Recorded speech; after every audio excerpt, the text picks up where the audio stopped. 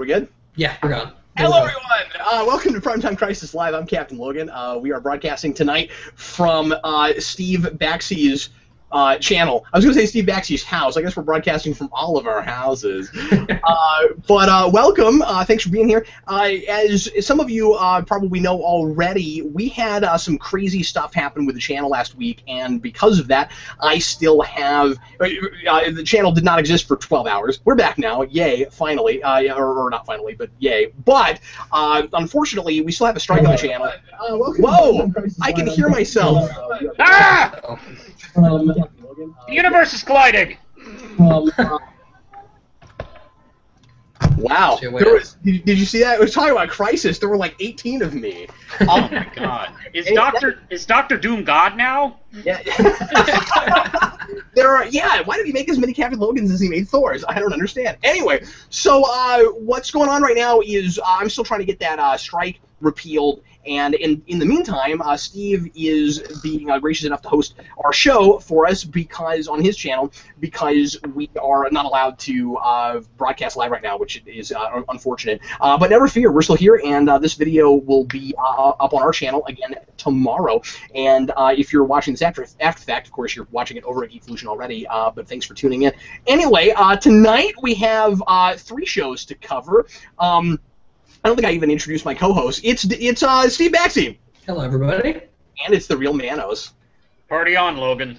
We are still waiting for Dan Torrey. Uh, he should be here after a while to help us talk about Star Wars. Uh, before that happens, we're going to do the season finale of iZombie, and then a little bit later, we're going to do the uh, second part of our retro comics to screen series, and we're going to talk about uh, hereafter the two-part episode of Justice League that sort of kind of does Death of Superman. Uh, we'll talk about that a little bit later, and then of course at the end, we're going to have an open forum, and we'll talk about whatever you'd like us to for a few minutes about uh, comics to screen. So let's go ahead and get right in the iZombie. Oh, let me also mention um, that uh, if this is the first time that you have watched live, you should go to the description to the blue chat if you'd like to chat with your fellow viewers, and if you'd like to help us direct the conversation, looking at all of the questions and comments over there, and that will help us decide uh, what bits to talk about for uh, each episode tonight. Everybody ready? Let's get going. It's time for the season finale of iZombie.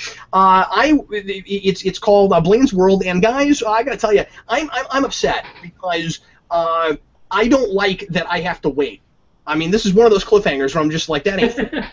can't do that to me. That is not fair. Um, completely subverted my expectations. Went to a place I never expected them to go. Um, I've got a, a question and concern here and there about stuff, but overall, I was just really thrilled with it. Uh, what did you think, Steve? Um, the big word that, that's coming to mind, and you get a lot of season finales, particularly Arrows, where all of this stuff happens, and then the hero walks away okay. Uh, the biggest word I can think of for this is consequences. Um, by the end of this, by the end of this, what Liv has to deal with, uh, the fact that the whole blood transfusion thing, the the stuff with the cure, curing Blaine, and uh, curing Major, and Mick turning him into a zombie in the first place, that whole conversation you had about what right she had to do that. Uh, I thought this was fantastic. Um, like, like you, there's there's things here and there, some dialogue uh, every now and then where I feel like they're kind of just doing exposition because we need it. Um, but other than that, I thought this was a, a fantastic episode. It might be my favorite, and I love that it's called Blaine's World because it's all about how much he's manipulated and twisted the world, and he's got this warped sense of no one can hurt me now because I'm the one that, that's preventing the apocalypse. Like he's the he's the only floodgate for what's about to come. Uh, I love all the stuff we get with uh, with Major. The show does a really good job of directing different scenes uh, in, in, in homage to different stuff. Uh, so you get like the the standard um, sitcom style stuff when you're doing when you're just having two characters interact, but then you get like a really classic detective kind of shooting for investigation, and then when you get the stuff with Major, it actually it plays like it's uh, a kind of 80s action movie. Well, it Uh, turns there- into a zombie movie all of a sudden. Like that's the most zombie stuff we've had. Yeah, uh, the whole shot of when he's taking out the zombies and he's got the gun in his hand, it, it's shot like it's an action movie. He looks like an action star. It's pretty well done. Um, yeah, I thought this was great, and we talked a lot about how Major uh, wasn't. Uh, we didn't like him so much in the beginning, but I feel like he's come around to be my second favorite character right after Blaine. Wow, I'm not even gonna go that far, and I've been advocating for him most of the season. Uh, but I, but, but but yeah, I, I do really like him now. Um, I like what you said about consequences. Uh, so, overall, throughout this whole season, and and you know you know, um, Liv is not a perfect person, of course, and she has character flaws. Uh, but by and large, much of the things that she's done uh, that might have been questionable at the time have been kind of vindicated, right? Uh, there's a lot of there's a lot of stuff where, uh, or, or like or like you at least can kind of see where she's coming from and why she does a thing. Like when she finally decides, I am gonna start trying to kill Blaine, and maybe I maybe I can take out a zombie. Um, I don't find myself going, oh no, don't kill Liv. I find myself going, maybe you have to. You know what I mean? Um, and then uh, the mistake she makes in this, uh, I buy, and it's complicated, and I don't know necessarily what she should have done differently. Um, I found myself surprised because I questioned it at first that I bought her um, wanting to go ahead and take the cure, even not knowing if it was going to work, especially after what happened at the end of last episode with Blaine and uh, and and his I'm. Uh, I'm going to take out all the zombies, and you know, not knowing she is one. Again, stuff that we've done in a lot of CW shows lately that we discuss here on the show that I think is done a lot more sophisticated in this. Uh, that conversation at the end, um, it, he he has you know uh, Major is our love interest here with, with you know obviously a gender reversal and uh, he has the same thing that Iris does in Flash of how dare you didn't tell me and I and it makes so much more sense here and or not not makes more sense but I'm, I'm, I'm with them and find him so much more sympathetic in that role because um, it's it's not just uh, you're supposed to tell me the truth. You're my friend or you're my lover. It's you should have told me the truth because look at what has happened because you didn't. And uh, that all was uh, really sad and crazy. And the big question I have at the end of at the end of all of this, of course, is the cure is not going to stick, right? Like, like, like, like, where, like, where, where, where I am at the end of this is thinking, um, Blaine is not cured. He's he's going to turn into something worse, and and that's my big prediction. And I think the same thing, of course, is going to happen to Major. I don't think I don't think they're cured. I don't think it's done. I don't see us going into second season of this show with a perfect cure. Yeah, it'd be a little bit easy um, if we did get a perfect cure. At the same time, I'm not but curing Blaine is so interesting that I don't know. Yeah, I know. I was about to say, like, there's no reason to cure Blaine if you, because there's so many awesome places you could take that character now that he is human that I don't want to lose that. Well, that's true. Okay, go ahead, Manos. I'm very happy with this season. I was very hopeful that the show would be um, good in spite of the changes, and I think it succeeded very well. I think this is very solid, excellent first season for the show. I. Uh, I like the way that uh, yeah we talked about a few things. So um, let me cover the fact that the uh, we have Liv kind of enter the world as sort of a, a crime fighter, a monster hunter, a superhero, and she's not good at all of them. Uh, she's a person, she's a doctor, and the show seems to never forget that. Mm-hmm. Uh, I mean, she's doing the best she can, uh, but she's not trained to do any of this stuff. She's kind of like going as she as she you know hits every situation, and she's doing her best, uh, which I think is pretty good writing actually. Um, at no point, you know, anytime she does something really fantastic, it feels like it's earned, like we've seen her develop. Uh, to these points, uh, like that awesome knife fight in the previous episode, um, and then she makes like you know mistakes, like you know, uh, like with the like with the major situation or the um, or the hostage uh, situation. I thought uh, well, was a you know pretty good screw up, but um, yeah, I, I, I was very happy with the season. And during the major fight where he's taking out all the zombies and the one woman who works there, um, like when she like goes headfirst in that saw, um, yeah, they don't show us those scenes, but you know, show us those moments, but you know, they you still feel them. And every time I watch an episode of this show, I keep reminding myself how violent it is. I just like every week it's like, oh wow, this show is really violent. I keep forgetting. yeah, me too. When they, I really do. When they turn, you're right. When they turn that girl around, or I forget who it is, they, they, they turn the corpse around, and Yeah, there's the big the big gap in the back of the head. I was like, oh my god, you actually showed that. Yeah. Um, we, we keep talking about how, at least especially at the beginning, this has been such an optimistic show that I completely forget I'm watching a zombie show, and I think it's doing that on purpose. I think it is, as it goes along, turning more and more into an actual, real, traditional zombie thing, but is so character driven and has zombies that are real people that it's gonna take me there, and I'm still gonna like it despite not liking zombie stuff a, a lot of the time. Um, oh, I'm so impressed with it for that. Uh, yeah, you're absolutely right, Manos. Uh, and this had to have been the most the most grotesque of them. Yes, I think Yes. so. Now, whew. um, Actually, yeah. I'm still doing that a lot. Just going, Woo! Did you guys expect Clive to know by the end of the season? I sure did. I did too. Um, he's a good detective too, and I kind of expected him to know the end of this season. I guess, well, hopefully, maybe next season. I, I hope they don't go too long throughout the show without him learning. Well, the reason I brought it up is because I would be very surprised if he didn't find out like like episode one or two of next season. Yeah, Because- that's my big prediction. It's like next season, the first couple episodes will be him dealing with the zombie stuff because uh, there's just so much to juggle in this one particular episode. It, pro- it probably makes sense that it didn't eat into the revelation here. Um, but next season, it has to happen. Well, they're, Yeah. well, they're setting us up for it. I mean, like the very last thing he does is he says, uh, "We're, we're going to go after a major," and uh, I, I think that's going to lead him to it. Yeah. Um, Yeah. You know, I guess we'll see. Although I was thinking that back when Major was still a zombie. Now he's gotten cured, pro- probably for some amount. Maybe. Yeah. Yeah. Uh, I I just thought this was a we- and and, I'm, and this isn't a bad thing, but I thought this was a weird place to, to cut off the season because it just feels like it's in the middle of everything. And obviously that's what you do with cliffhangers, but with the exception of her brother being um in in um in bad shape at the end, it didn't feel like your typical um cliffhanger. It almost felt more like a mid-season cliffhanger. You know, it, it, it kind of felt a little bit more like we. This could be a thing where we came back like just you know the very next week. We're just so in the middle of everything. Um, it's Yeah. one of those where I'm going to feel the need to make sure and watch this episode again before the next one. Cliffhangers, I'm like, okay, I know that that guy's on the precipice, and that guy has a thing through his chest that he might not live, and you know, like, like you always remember what the big things are that everybody's standing there waiting to see if they're going to die or not. Um, but this isn't like that. Well, it's it's been around 13 episodes, which is usually where the mid-season um, uh, cliffhangers seem to happen all the time now. Of course, but it knew that it was that, that it was only going to get 13 episodes for its first season, so I was really kind of surprised by where they left us. Yeah, I, I think the story, the story. See, the thing is, like, I'm sure when they made this show, they weren't 100. percent I'm, I'm sure when they made the the last few episodes, I'm sure they weren't 100 percent sure if they got the green light or not. Um, or at least I know they planned the show.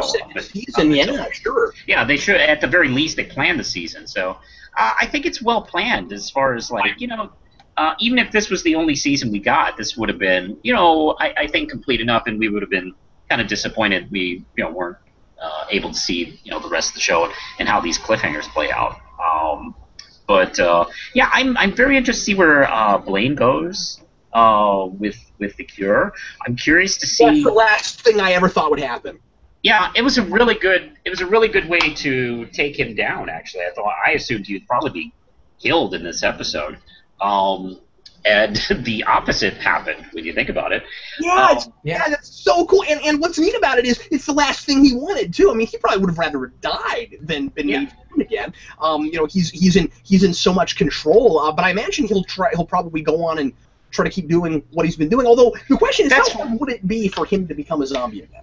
See, that's the thing. Like, yeah, is he going to stay in business? Because, yeah, he's a control freak. He loves this business. This was kind of his big break. And I think he really does believe that he is uh, the guardian of the zombie apocalypse. He, I, I think he really does believe he's that wall uh, between us and the apocalypse. a lot Oh. of zombies. So what he thought he had was was this this like this this situation where uh, that gave him a lot of control. Where like if uh, if you mess with him, you're messing with a zombie apocalypse. Like that's always his ace in the hole, right? And Yeah. it- wonder if maybe I could see it going a couple ways. Uh, what if what he did was he said, "Okay, fine, my revenge is going to be let the apocalypse happen." I could almost see that, although I think he would much prefer his power and prestige. Yeah. Yeah. I mean, he's like Leland from uh, Daredevil. He thought he had this great backup. Like, hey, get me out. And it doesn't work. Um, so I'm looking at comments here. Just do it says uh, I was surprised Clive didn't find out. He agrees with this on that. Also, hope it's only 13 episodes in season two.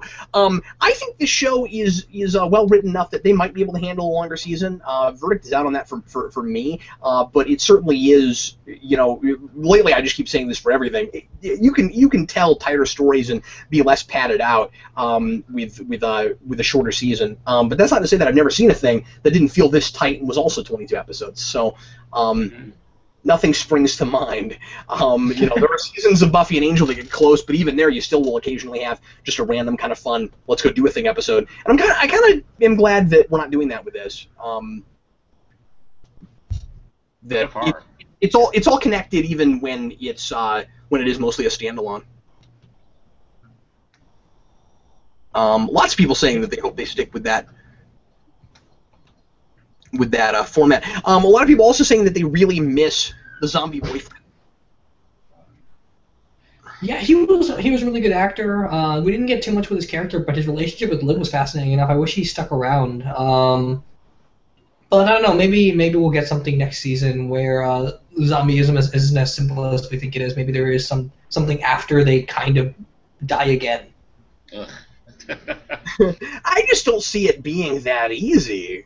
Uh, that, that, that, it, that it's so curable because I mean you know they are they are dead and then undead. Yeah. Um, and I mean that's a huge major risk she took because they didn't have even as much time to see the results with the rat as they did last time. I don't think. no, no, they did. Uh, that can In still fact- like You get it still again. backfire. Not only does she turn two people back human, but she also has wasted all of what they had.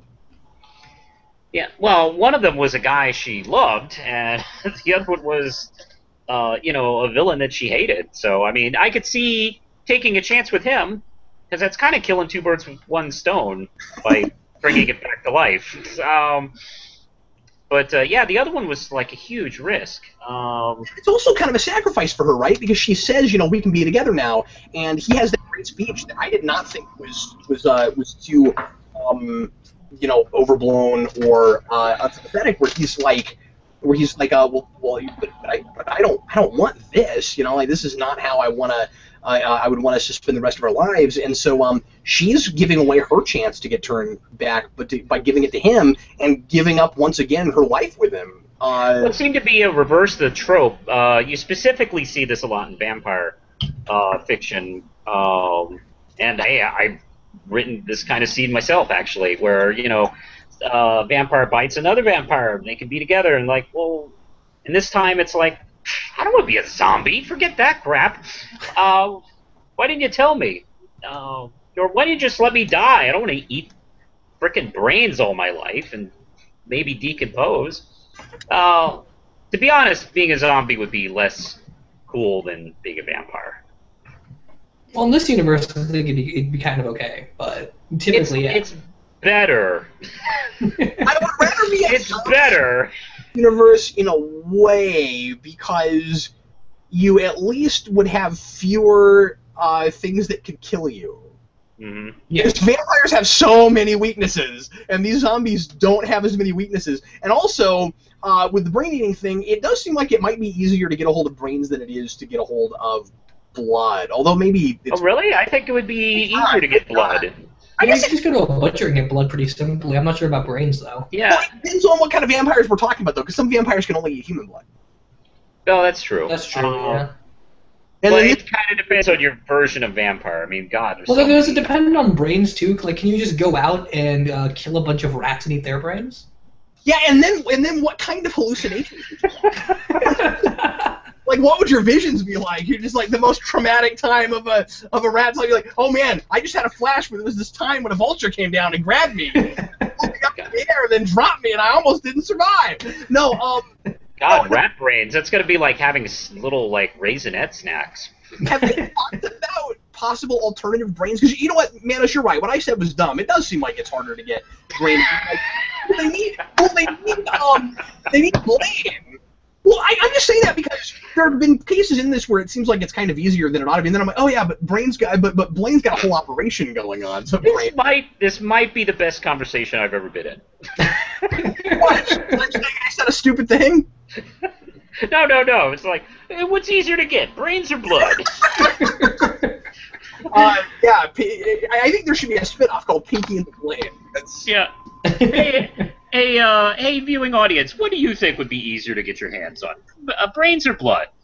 I, I I'm, I'm gonna I'm gonna vote with you guys. I, I think it's definitely blood, uh, and I'm and I feel dumb for saying that. Cannibal says uh, Major has grown on me uh, so much. A lot of people are agreeing with us that he has gotten cool. Um, He's definitely better. He's not my least favorite character anymore, so that's a huge step. do you have a least favorite character? I don't feel like anybody in this is just a. Uh, Liv's mom kind of. Uh, okay, but she doesn't great. show up. I don't think there's. She's a, not, and and I don't blame her or even her character. I just don't think her character's been, been developed. I think it's still kind of one note. I think you Um, could say the same with the brother too. the Yeah, brother, he's okay. And I felt like that whole job application thing was just set up so that it would feel less convenient when he was standing there. Yeah. Which is Yeah. okay, I guess, but I mean, they did sort of make that work. Like, I could buy that he would be there right then, I suppose. Uh, but Well, yeah. and there's also reason, and come to think of it, there, there's there's also good reasons that um that Blaine gave him that that that job. Um, it's just they, that does ultimately seem like a thing that they set up just so they could make that make sense. Um, Well, I, I think that played out much differently than I thought. I thought he would be either taken captive like Major or or killed by Blaine, and it. I, I just didn't expect him to be taken down that in such a fashion. Uh, just be kind of an innocent bystander, really. refresh my memory, uh, guys. Have we killed off the chief of police guy, or not the chief of police, but the but the you know the zombie police guy? Uh, no, I don't think so. I don't think he's been killed. I'm just so surprised that he's still alive. That actor n- is never alive for more than a few episodes, of anything I've ever seen him in. That's a, I, like, I think, hey, it's Dan Torrey! Hey, everybody! It's Dan! Either having popcorn or washing dishes, I'm not sure. Having dinner because I just got home from work, but I am here. Well, uh, Dan, we were just talking about iZombie. We're wrapping that up real quick, and then we're going to jump over to Star Wars. So, uh, we'll do Star Wars as soon as you got your dinner ready. And I, I just, you and Manos are hilarious. So I'm going to set up my, my thing and let people see us doing just our normal routine. Um, I didn't want to miss it. I'm just happy we're in the kitchen. That makes me really wonder what uh, the the zombie police guy is going to be doing next season. Um, because I think they could, could really do interesting things and go places with him, and he could even be a big bad potentially. And then also, what's going to happen to all those people that relied on Blaine to get their brains? Um, because Yeah. if he can't get to his operation, what's going to be the ramification for that? Yeah, Because you know what? That's a good point. Because that's not just a simple crap uh, line that he was pulling out to like save himself. Like, no, that is actually kind of true. He is the only supplier to this problem. Yeah, and I mean, it's also it's not even like it's a small group of people. He's got like an industry going. Uh, Yeah. There's a lot of people buying from him. Well, remember that he turned a whole bunch of people into zombies on purpose so that he would have more customers. That that, that was his Yeah. whole business model. Yeah. And you also have to assume that some of his underlings did the same thing. Yeah. Although Yeah. interestingly, I don't think anyone knows he isn't a zombie yet, except maybe Liv. No, no, but they, that happened really fast. Yeah. Yeah. Yeah, did Liv? I, did, did she actually see that happen? I think. Well, I mean, she suspected. Yeah, she's it good at. So. Okay, all right. Um, sorry, I, I've been doing lots of things today, and I'm trying to remember everything that happened in this episode because I just watched it. Um, but, but but anyway, it, um, oh oh, Cry- Crypto Freak uh, in the comments. When I die, I want the iZombie theme song played at my funeral.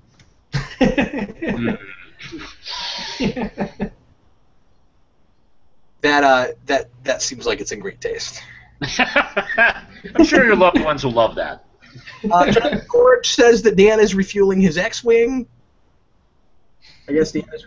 Look at Dan. I guess Dan is busy refueling his X-wing. I'm down with that.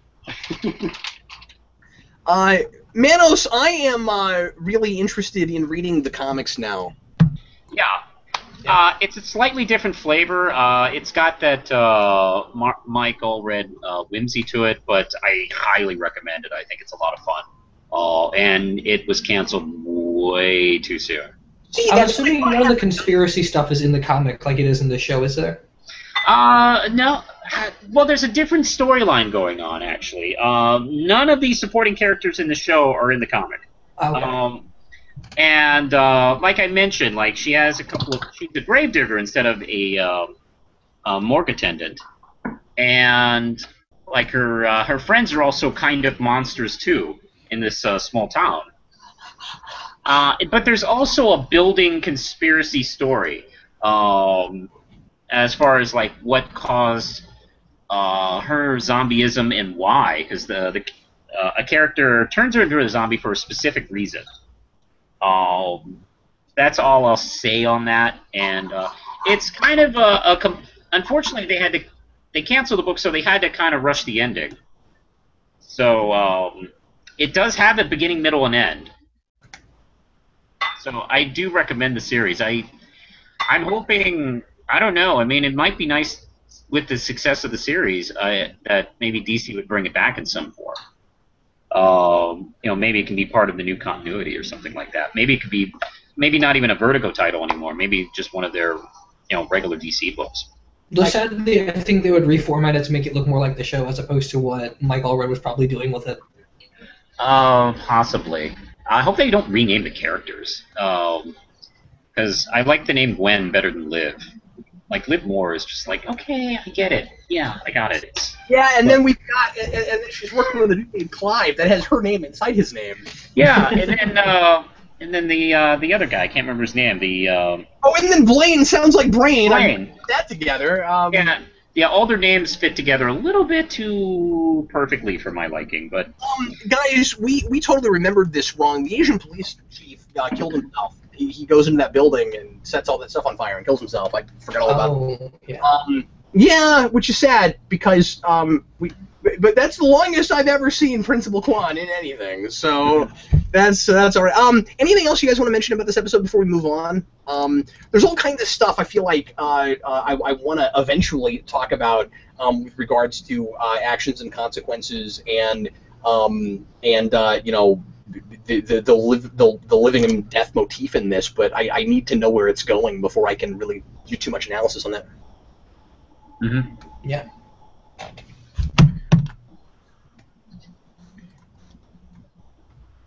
Okay, uh, let's go ahead and move on now to uh, the first episode of season two, Star Wars Rebels. If uh, Dan is, is is good and ready to talk with us. I am ready.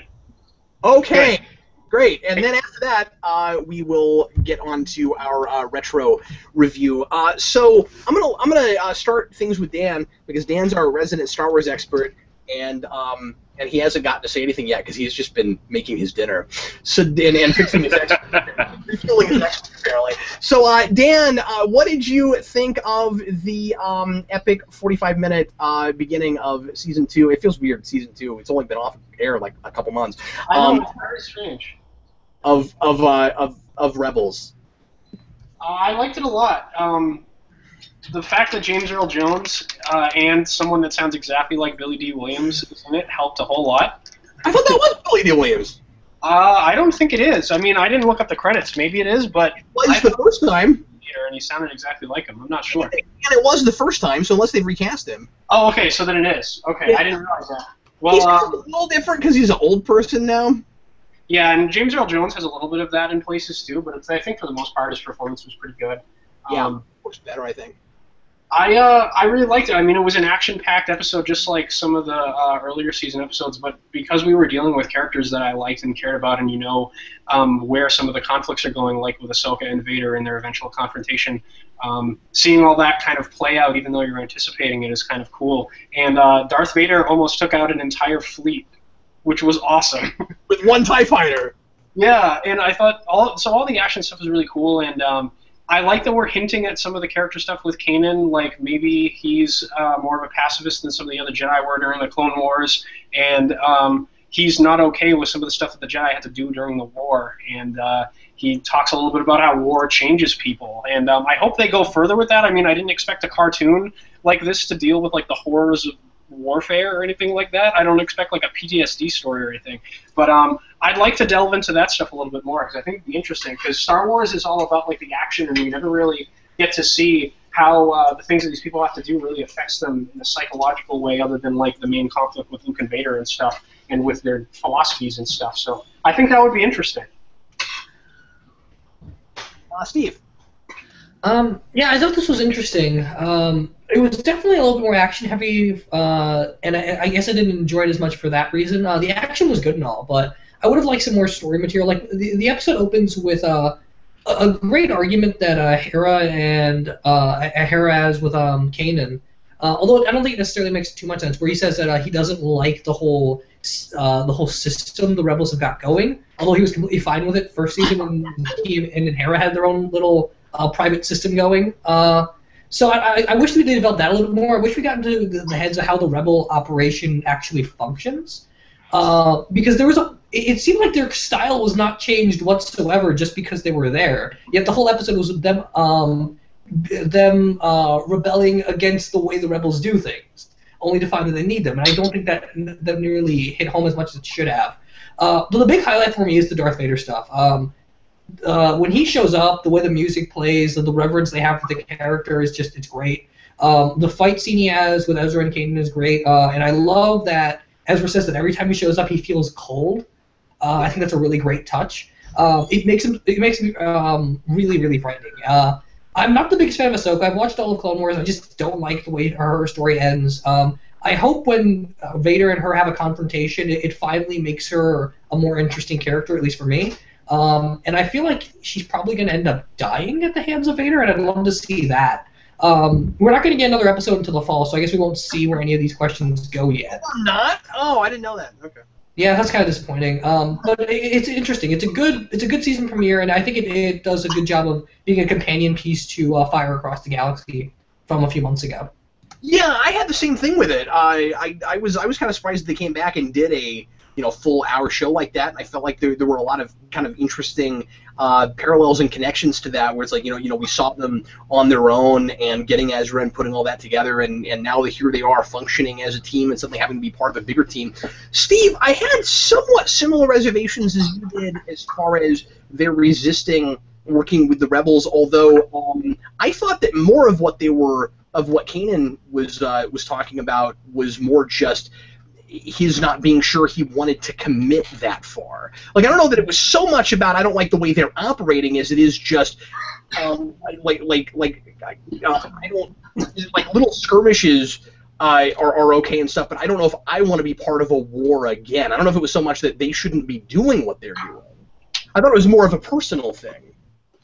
Yeah, maybe so. Um, I, I only saw it the one time, so maybe I, I just read it wrong. But I wish we just got into it a little bit more, so I guess that so that would have been a bit more clear for me. What do you think, Dan?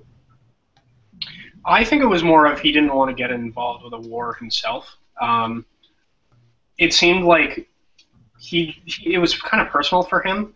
Kanan has this kind of thing where he um, can be a little selfish sometimes. It seems like um, what they're doing with his character is like that's his his flaw, at least from the little we've got of him development wise so far. So I think like the thing with him is he doesn't want to see like the people around him change as a result of war because like I, I wish they'd like talk about the relationship he had with Hera a little bit more because that might that might make that stuff a little bit more heavy. Um, but I think it's mainly like he doesn't want to see his friends like have to go through and see some of the stuff that he did. Um, either that or he wants to protect them or something. I mean, I just don't think there's enough there to get any sort of like you know definitive read on it. I guess I don't know. One, I think a key line he has is he talks about how uh, he thought the whole point of what they were doing in the first place was simply being Robin Hood, stealing from the rich and giving to the poor. Mm-hmm. And that almost implies, you're right, Dan, we might need more before I can go this far, but it almost implies that he sort of likes the status quo the way it is in a way. Mm, yeah. Would have in common, of course, with Vader in the other direction, which could be really interesting if they if they go if they go further with that. Where uh, where of course in a perfect world he would love the Empire to not be ruling everything, but he also has a, lot of insecurities that he's been dealing with that, that we talked about a lot um, all the way through first season, not being sure if he's up to the task of being you know uh, pretty much the last Jedi and having to train Ezra and all of that. And so, you know, uh, being thrown in the middle of this rebellion and having to be, you know, like a general there and stuff would suddenly make him a lot more important and have a lot of bigger responsibility. And he's afraid he's not ready for that. Um, I guess the only question I have with that though is the whole Robin Hood thing only comes up one time in the whole first season. They only rob from the rich and give to the poor like once. The that entire season is more of them like boulder, uh, strengthening their forces and weakening the empire and trying to uh, break down the status quo in areas. They never actually go out of their way to help people that are oppressed by the empire. You're, you're right, and and there and there was a little bit of confusion, uh, maybe not confusion, but just all, all through that season, we kept we kept being like, okay, what is the Greater Rebellion? What are they doing? And the reason we wanted to know that was because Hera is involved with that, and I think maybe what they're what they're trying to do, and maybe is that what you've really got are several people on that ship that all kind of have their own uh, their own ideas and itineraries. Uh, you know, you've got so so maybe that's what he wanted to do, but Hera was kind of running things more, and so they were doing more things for the rebellion. And Kanan was never 100% on board with all that. I don't think. I mean, he kind of I just thought he was. I thought him and Hera knew everything together, and they just weren't telling Ezra and the rest of the crew. Okay. Well, maybe so. And of course, it's been a while since we've watched those, and I never watched them more than once. But um, yeah. So I don't know. There's clearly a little bit of communication, um, you know, la- lack of communication going on there. Um, I'm gonna look at uh, some comments here. Uh, you guys, you guys keep going. Uh, Dan, what else did you want to talk about? Um, let me think. I thought it was interesting at the end. I kind of thought that we were going to get Vader as the main protagonist for the re- or uh, antagonist for the rest of the season. It seems like they're going to bring in another Inquisitor, which is kind of disappointing. Yep, that's Yeah. I, I had it too. And uh, you know, you know, Dan, the whole episode. Um, not to say I told you so, but I told you the whole episode. I kept going, "Oh man, Dan was right." Yes, you know, and then because Dan and I argued about that, and, I, and, and he was like, "They're going to make Vader the, the main antagonist for second season." I'm like, "No, there's no way they, they get James Earl Jones to do that much voiceover, and they're they're, they're going to tease us with it." I thought what they were going to do though, Dan, is I thought they were going to tease us Vader through the whole season, and every now and again they'd show us like something of him in a control room or something, but we Right. actually come and and there'd be a big showdown like with the Inquisitor. And here they decided to reverse that and give us a bunch of Vader at the beginning, and then you know we're not going to see much of him at all through the rest of the season. Yeah, I would imagine that the big confrontation between him and Ahsoka is going to take place in like a two-parter at the end of the season or something, and that's where he'll show up again. And we might get like one or two scenes with him. I would imagine James Earl Jones' voice work is already done. While they had him in the booth, they probably had him do everything he, needed to do for the whole season. I'm sure. Yeah, they probably got him to do it all in one sitting. You know, like Zordon in the first season of Power Rangers.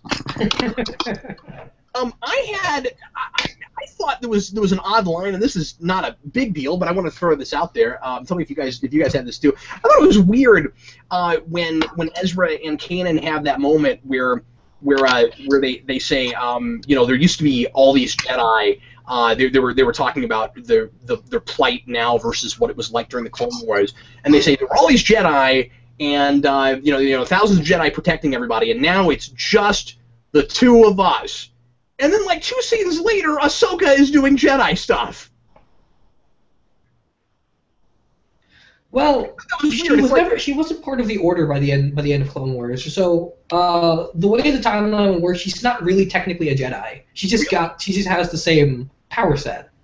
oh, oh, I didn't know that. Well, okay, but she was, but she was actually a Padawan, right? So how, how is that? She was a different? Well, I mean, I don't want to spoil Clone Wars. too- Ezra.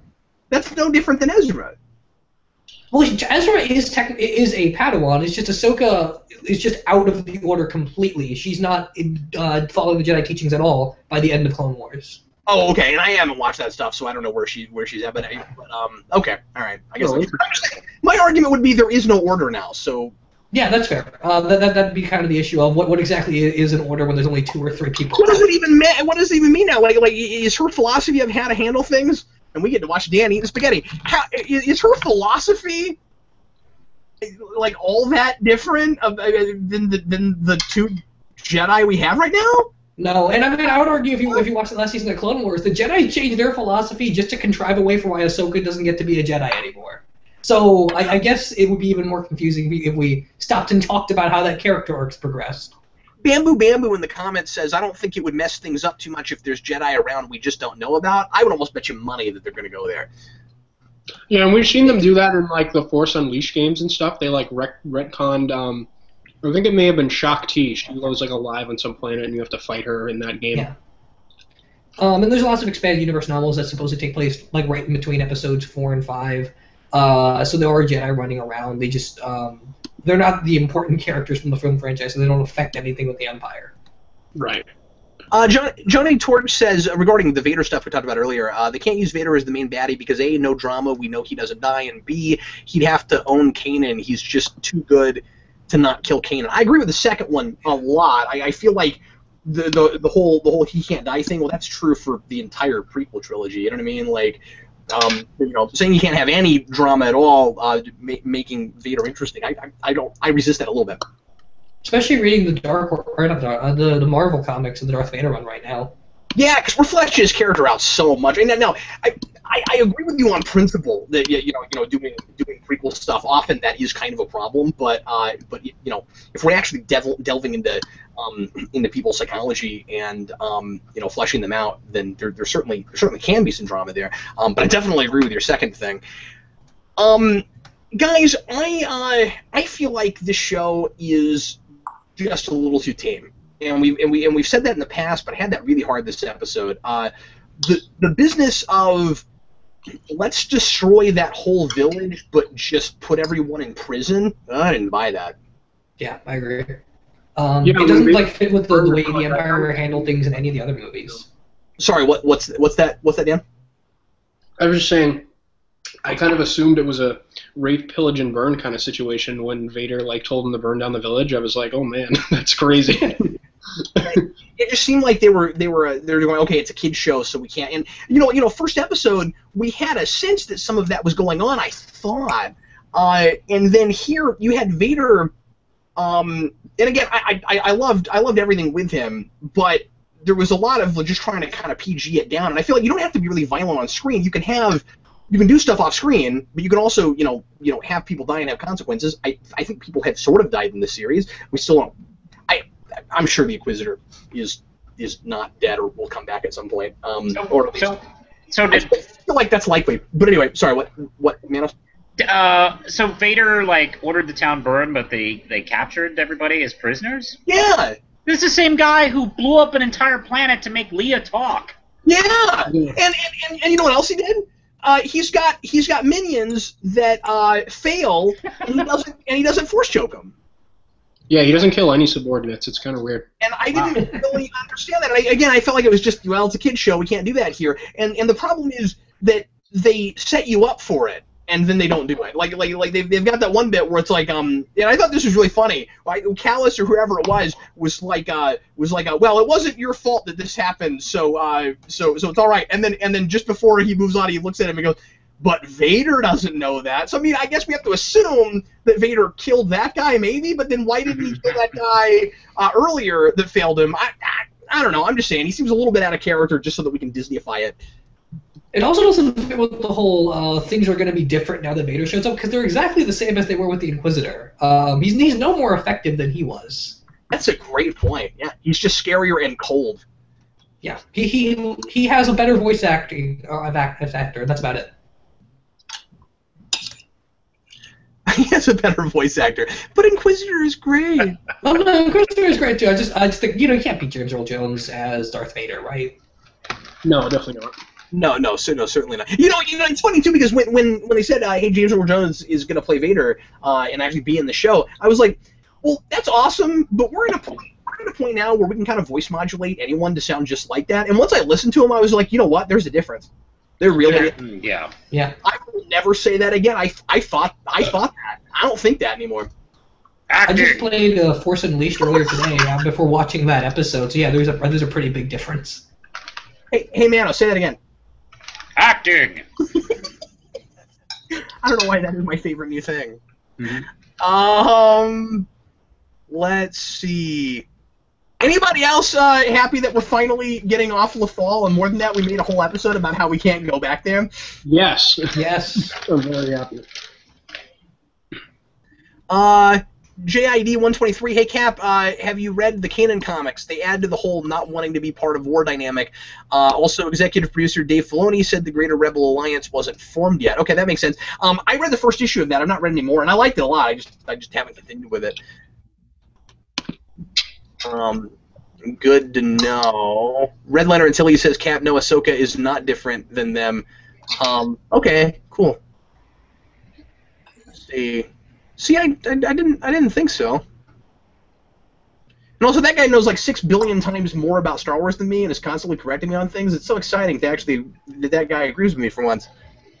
I talk about Star Wars, and then that guy comes up, and I'm like, "See, I'm not anything like qualified to be on this show, and it's my show."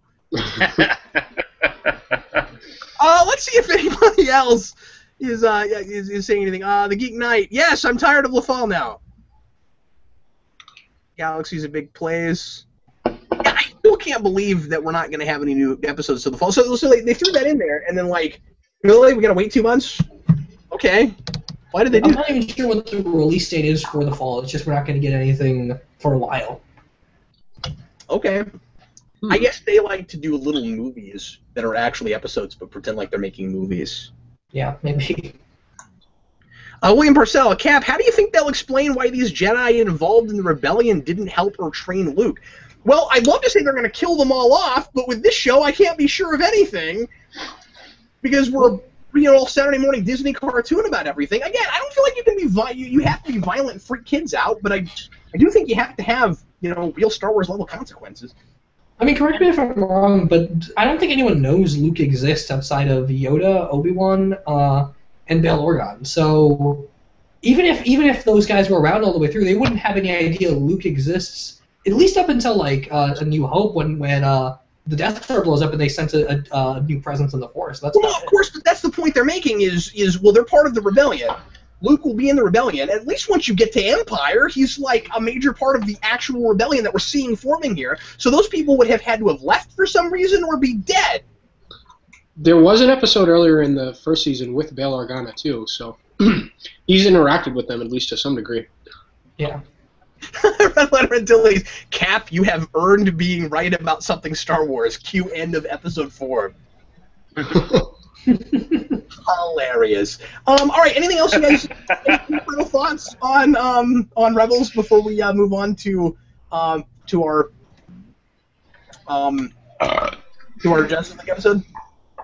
I mean, I kind of enjoyed this episode in comparison to some of the like um, episodes last season. If they can keep up this kind of um, level of action and like um, good voice acting and stuff, and if you some stories in the second season that are about the characters, then I'd be very happy. I mean, I just don't want another season full of filler until we get to the next mini movie at the end of the season. You know. Yeah, me too. But but what we can at least uh, look forward to is a mini movie at the end of the season, and then another one at the beginning of the next one. That's true. Um, all right, let's uh, let's go ahead and uh, move on now to our uh, retro series. Uh, we're going to talk this time about uh, Steve's pick. Uh, Steve, tell us a little bit about your pick and why you picked it, and then um, go ahead and get us into the conversation, will you? All right, sure. Um, so we're, we're talking about Justice League Hereafter, which is uh, second season episodes, I think 43 and 44. Uh, I'm not sure off the top of my head. Um, and essentially, this, this is Dwayne McDuffie doing uh, a very abridged version of Death of Superman. Uh, the main reason I wanted to pick this is it's just one of my favorite episodes of Justice League. Uh, I was trying to find something that was, that was easily accessible as well as just uh, fun to dissect and talk about. Uh, Justice League is a show where, uh, outside of some of the big event season finales and premieres, you don't typically get the entire team every episode. Uh, and this is one of those rare occurrences where that happens, and you, and you get everyone, and everyone has something to do, arguably. Um, and I, I thought it would just be interesting to uh, also talk about one of my favorite DC Universe villains, Vandal Savage, uh, and getting to the second part and just the, the whole different world perspective he has, and how Vandal Savage might be the most objective person on, on the earth by the end of by the end of the show. Uh, I think all that's really interesting to talk about. Uh, it's also an episode that just has so much going on and has, such a, a classic uh, Kurosawa film, almost Samurai Jack kind of thing going in the second half. Uh, And I think it's the perfect argument for people who say uh, Superman isn't interesting. Because I, I, have a lot, I get into a lot of arguments with people where they say that Superman is overpowered, and the big um, counter I get to them is that uh, if you think Superman's not relatable because he's overpowered, it just means you probably haven't read anything with Superman in it. Because that does, never seems to be the case with people that have actually read stuff with Superman. Uh, and when you get to when you get to the second part of this, and maybe the best thing about this episode is Superman stranded in the future, post-apocalyptic world. He's not worried at all. He just starts doing things and tries to figure stuff out. Uh, you get great lines in this, like Martian Manhunter saying that uh, Superman is the immigrant from the stars that taught us all how to be heroes. That's the perfect way to summarize that character and dissect every aspect of him. Uh, so yeah, I just think this is this is one of the densest episodes of the, the DC animated universe. Uh, and it's a good way, segue to talk about how, how that um, whole production process was handled, considering we don't do too much stuff with that outside of Batman the Animated Series on the channel. Um, I want to mention, of course, that uh, it, it, it's it's Death of Superman in that everybody thinks Superman dies, and that it sort of has a little bit of that world without Superman thing for a minute. Um, but of course, I, I, you know, if you haven't watched this, there's no Doomsday. Um, he dies in a totally different way, and it's not an actual anything like a death, and it's not convoluted at all. We know exactly what happens to him, which is really nice. Uh, but, uh, but that's kind of thing, like a thing that is inspired by Death of Superman, but they totally go their own way and tell their own story. Um, and I loved it. I, I, I and, and surprisingly, had, as I said last time, had never actually seen this one. Uh, there's some Justice League I've missed here and there. What's funny is the very next episode that comes after this is, is one of my favorites, uh, the, the Joker two-parter. But um, but uh, if because if, if I remember right, that's the that's the one where he like goes on TV and puts bombs everywhere. Um, but uh, yeah, it's uh, it's neat, and and um, the way uh, the way they do it with Toyman, um, I I at first thought was a little um, was kind of a little easy, but I like that he goes out trying to save everybody. That it's not just uh, he gets shot and he disappears, but he tries to save everybody. Um, but that second half, surprisingly, is uh, is is the coolest part. Um, and, and it's kind of neat because it plays as two separate episodes that are you know obviously linked together, but they have they, they kind of have different feels. Um, and that and that second part where he's like you know rugged mountain man Superman, uh, just just kind of surviving, um, is super cool. And I just thought of this, but isn't it kind of neat? Like they bring Lobo in to kind of show you just how much of a void there is because Superman gets replaced by like almost his opposite. And then he goes off, and then Superman goes off and does like the most like manly, rugged stuff you've ever seen Superman do, and he's like if Lobo was Superman. It's really cool that they that, they brought Lobo in uh, for that because it's like it's like no um you can be like that you know you know masculine like been like badass and stuff, and um, still be like a, a totally good altruistic person. It's really cool to show Superman being that much of a tough guy, but not like a like a mean person. You know what I mean? Um, j- just like like like like uh, Superman isn't all like like roses and and um and, and sunshine all the time. And uh, and I really like that. Um, the the way he tames uh, those those uh those dogs, like like that, that whole thing I thought was super cool.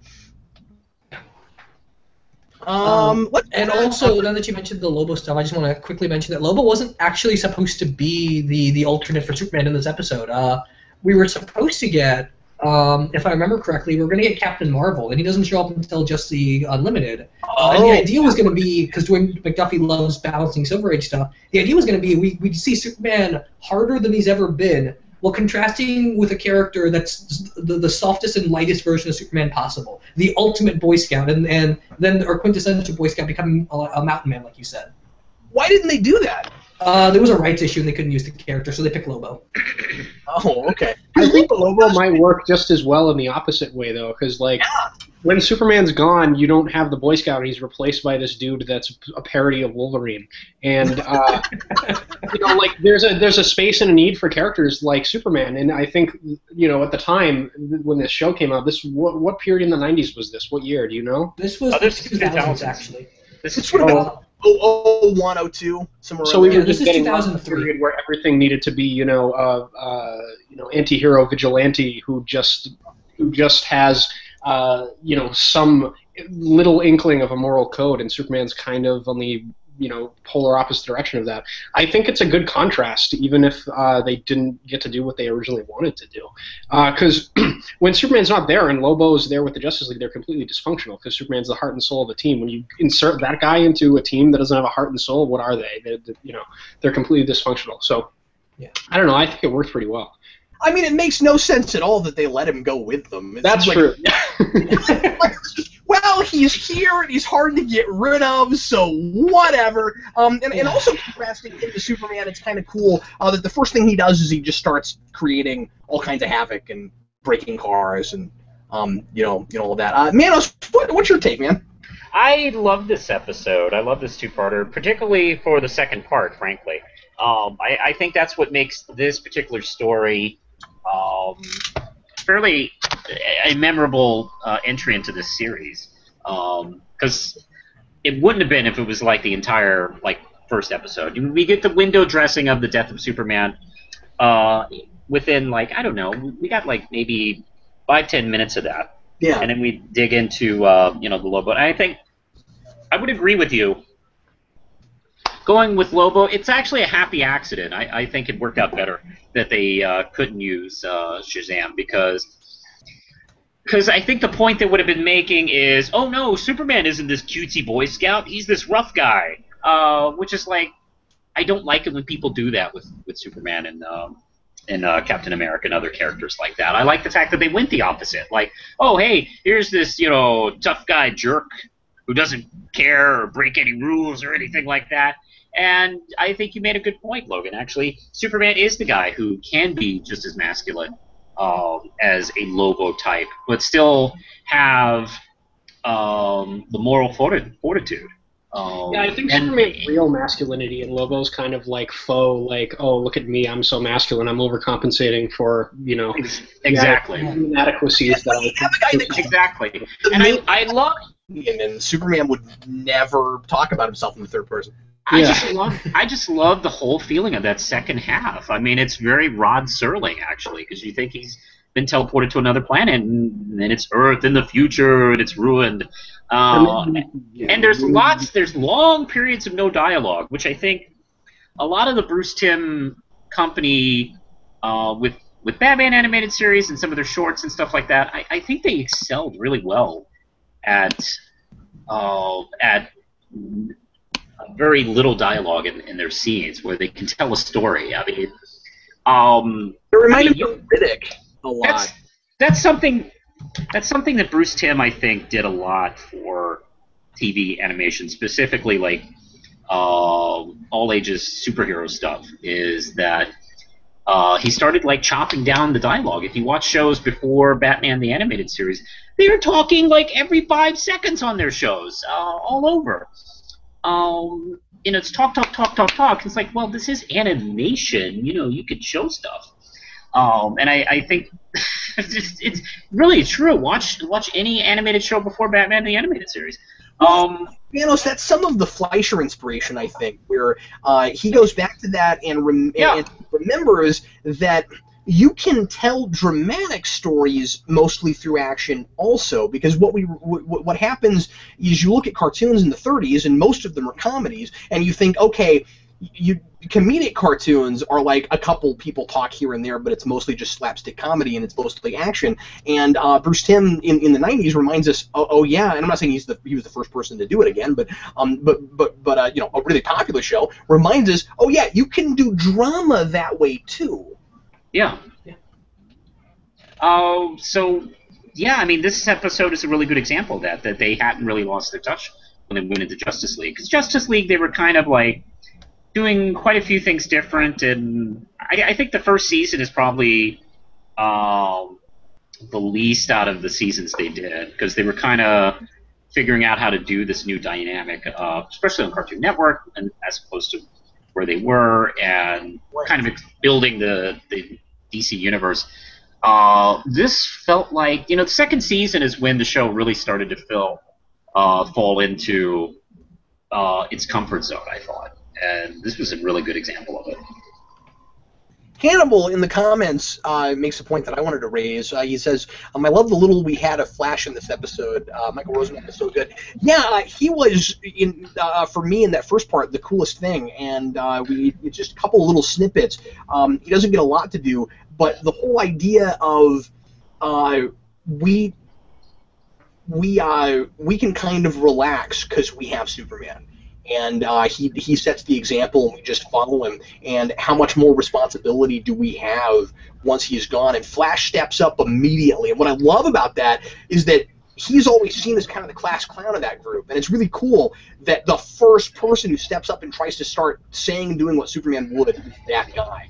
Uh, and and he and I love that line when he says, um, "Well, I joke because we got Superman around. I can. Um, I don't have to work as hard." Yeah, Wally West is always the most interesting thing uh, whenever he's in anything because he's the best. and uh, I think what you're saying works a lot uh, better than if you were to use Barry Allen for that situation because, like, Wally West in this specific episode is the youngest and least experienced of them, too. Um, so that's why he kind of looks up to Superman to some degree.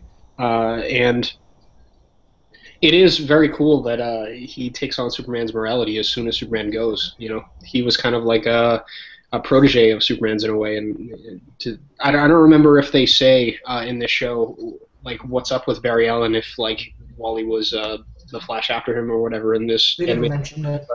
Oh, okay. Um, I mean, maybe and also interestingly, if you go over to Justice League Unlimited, um, there's an entire episode with the Flash Museum that's very consistent about this, and and uh, you have Orion um, learning through Batman and the Flash that uh, Wally is the jokester because of the nature of the of the world and because of the superheroes that live in it. Uh, but he feels just as much as any any of the any of the other characters. Uh, and he, he's got um, the same kind of uh, serious confidence to him as Superman does. It's just a matter of being in, in the company of the League that gives him comfort. Hmm. Yeah, and he probably uses it as a defense mechanism. Yeah. So, yeah. Um, Steve, uh, I'm, I'm sure you have interesting things to say about Vandal Savage. Let's jump into that real quick. Yeah, uh, Vandal Savage, I, I love when we when we get to that stuff. Um, so uh, Vandal Savage is, is a really interesting character because he's immortal, but uh, part of why he's fascinating is that he's got um, there's a character in the Sandman series that uh, gets to live forever, and every now and then, I think every few issues we check in on him periodically, and we see how throughout uh, his life he, go, he has a whole bunch of ups and downs, and he, he takes him almost forever to learn what life's really about. Uh, and Vandal Savage is the type of character that never really figures that out. Uh, he's got this gift of being able to just see the world in the most clear way possible. Uh, he's always very much just an outside perspective of it. Because in this universe, in this particular animated universe, he's only tried to take over the world twice. Uh, and in those two times, it's in the modern day. It's in the 2000s. He goes back in time in the 2000s, and he tries to take over a country in the 2000s. So he's got like this these centuries and centuries of experience where he's viewing the world, and he's kind of like a moral outsider. Uh, and it takes it takes um, being in the company of people for generations for him to hate them. But then it takes the absence of them for thousands of years for him to love them. Uh, and it's it seems to be all about just the, the ability of humans to create and destroy. Because from his time period onward, they're all about just the uh, the destructive nature of humanity. That uh, that Nietzschean idea of people left to their own devices are just cavemen, which is what he was, and that's what he wants to rectify. Uh, but then when you finally get to a civilization without humans, he realizes that the whole act of creation, the whole, because he's, he invents things constantly, that whole active act of creation is just disappears with human civilization, and he finally gains a new perspective and a new lease on it. Uh, when, he, when he's so content by the end of it and still only being the last man on the universe, uh, and he's okay with it because he kind of found the purpose of life. I just love. Uh, the only big mistake I think they made is they never had a conversation with the past Vandal Savage when they when Superman got back. Because I think we needed some kind of comparative piece in this two-parter of what Vandal Savage was and what Vandal Savage becomes. Yeah, I, one, one of my criticisms is, is, is exactly that, Steve. I feel like the episode uh, hinges too much on the audience having seen this show before, and specifically episodes with Vandal Savage, because he's there for too long before he's even named, and that's not a problem necessarily when you have like an archy show where it's an ongoing storyline, but these are standalone episodes. I that bothered me a bit. Um, and you're right. You get to the end. I would like to see what he's what he's like in regular present day. If it was like if it was like the Joker or somebody that we've seen a thousand times in a lot of different episodes, maybe you can get away with that. But Vandal Savage is not a real often recurring villain. Yeah. Yeah, yeah, exactly. Um, and even in this universe, uh, no one even really knows who Vandal Savage is when he first appears in the Justice League animated series. Uh, so even even in the context of the greater universe, it is still kind of confusing. You know, actually, when I rewatched this episode, I haven't watched this episode in years, and actually, building up to the end, I did expect to see like the last scene, them confronting him uh, before he pulls off this plot, and it ends, and it's like yeah, it does feel like there is something missing. Maybe maybe time didn't allow it, uh, which is too bad because you know that I I I can't imagine watching this episode for the first time. Going, well, who the hell is this guy? Um, I suppose he's bad. It, Um, felt to me like it was, yeah, yeah, somewhat that it was just a lot to pack in, but also that it was trying to be maybe, um, maybe a little bit uh, uh, clever just in the storytelling at the end, where it's like, well, this is a thing we don't really need to see. We know that Superman and, and, and the Justice League are going to beat this guy uh, when when Superman comes back, or, or that that you know he's going to be able to convince him or whatever. Uh, so we don't really need to see that on the screen. But I don't think it's so much about needing to see the actual events unfolded as it is just needing to see what that character was like in the past for contrast. Uh, Um, and I think another important thing to mention is uh, I was I was live tweeting this with Alex, uh, superhero enthusiast, when I when I watched it. Uh, and one of his criticisms and one of the things he would have done if he was in charge of the series is make this two-parter like a 13 episode arc. Uh, because there's so much going on here, and we, it's almost uh, like a clip show at a certain point, where Yeah. you've got all of these ideas just coming full circle all over the place, uh, and they're interesting to talk about, but not all of them are, are amazingly developed. Uh, like we mentioned Vandal Savage quite a bit, but also stuff with Lobo, because you listen to them talk about Lobo, and they said their idea is uh, Lobo is, is a jerk, but he feels a compulsion to come back and fill in the void of Superman because he left a mark on him when him and Superman met in the Superman animated series, the episode The The Main Man. Uh, and you don't get that idea at all from the episode, and that was their intention. And you need a Oh, couple more episodes with that to make that make sense. The sense I got was just here's here's an opportunity to strut my stuff. Yeah, it, it wasn't supposed to be that. It was supposed to be more of just uh, a Booster Gold type of situation. They they couldn't convey that properly. That's kind of neat. Uh, you know, if, if we'd actually if we'd actually dealt with that, yeah. I mean, if we did this in comics, this would this would be a wonderful, you know, full year, or twelve issue kind of thing. Um, you know, to, to and, and I feel like you could even do several issues of what Superman's doing in the future. Um, Yeah, and also just an interesting question of what is the Justice League without Superman? Because it's one thing to have an equal power set. Martian Manhunter is more than a match for Superman. Um, but having the moral compass, like we keep talking about, uh, what's it like to be in a Justice League that doesn't have the hero that inspired creation, the creation of other heroes, both in fiction uh, and outside of fiction, uh, outside of just in, in our regular universe, the first superhero being Superman, and everyone saying, "What's your ideal just superhero team?" and everyone has to mention Superman somewhere. Uh, and th- that's questioned quite a bit, but I don't think we ever get it discussed enough. yeah, I mean, it sounds like what you're saying, Steve, is just the idea is too good for Yeah. this small, this this short of, of, of material, which is which is really interesting because it's because it's a because it's a two parter. Um, Dan, we haven't heard much from you. Uh, anything else about this you wanted to you wanted to chat about? Nothing that you guys haven't really brought up. I mean, um, I uh, I thought it was cool for uh, this episode to see Weather Wizard because I like Weather Wizard. yeah, yeah, kind of an eclectic assortment of villains to put together uh, for that pact, right? Yeah, I think it was Weather Wizard. Weather Wizard has this like big beef with Superman. Uh, like he's at the table like stabbing Superman's symbol. I was like, what does Weather Wizard care about Superman? Is there an episode dealing with him? Yeah, Weather Wizard first appears in Superman the Animated Series. Him and Flash are doing a charity race, uh, and Superman and Flash stop them. Yeah. Uh, it's called Speed Demons, and it's actually a pretty good episode, but it, it's kind of melodramatic that all these Superman villains have a cult together where they stab symbolically a symbol of Superman. Uh, that's, a, that's a little strange. It was a bit. It's like, didn't they know each other when they walked in? It's like they Yeah, already it- have costumes. it's kind of weird.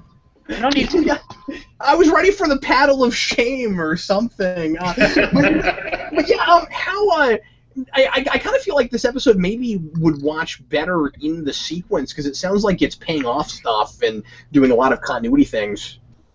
Well, there is a cut sequence where uh, they put on their robes, and then after they are done agreeing to kill Superman, they go in the next room and tell Tom Cruise to take off his clothes.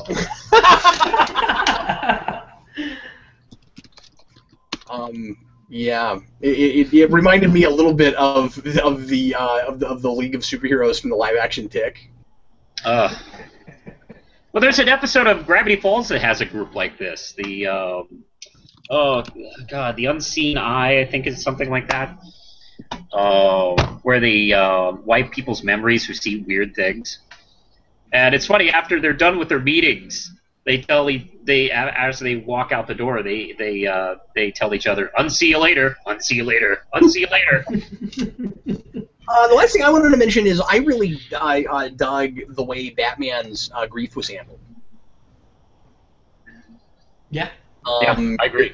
yeah, the beginning of the speech that gets interrupted that he has at Superman's uh, um, memorial uh, because you, you know he he doesn't think that Superman's actually dead, but then he's afraid that he might be, so he's not going to let anybody know what he's doing, but he secretly is really tore up about it.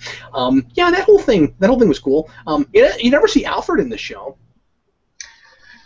He's only like three episodes in the whole run, I think, of Justice League, Yeah. Justice League Unlimited.